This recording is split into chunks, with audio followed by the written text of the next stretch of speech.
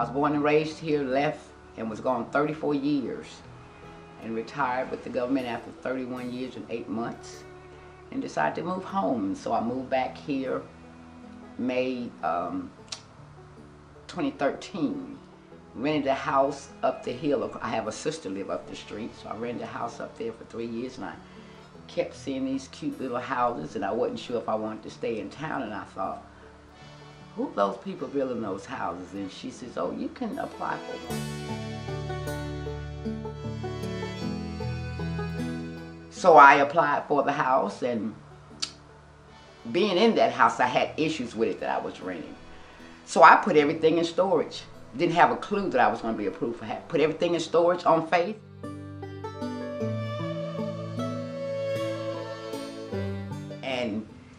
It was a lot of hard work, but I enjoyed every minute. And I think I did some of everything except on the roof.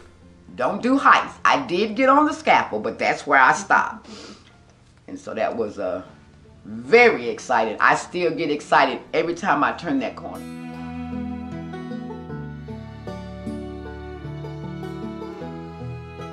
Wow, how getting the home has affected my life. It has made retirement just what I thought and prayed for, you know.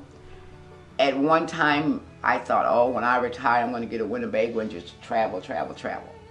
I travel for the government. I don't want to do nothing. I love crafting.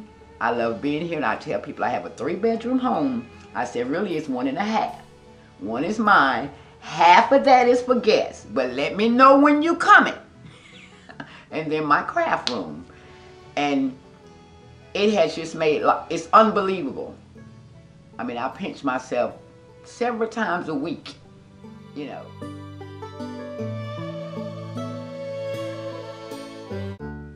I remember years ago when my children were growing up and I had to run the Girl Scout, the Boy Scout, the this, the church, the youth, to this, and I used to sit and think, one day I'm to be retired, they're to be grown, I'm to have me a little house, and I'm to sew as long as I want to. Stay up and craft all night, do what I want, and that's what I do.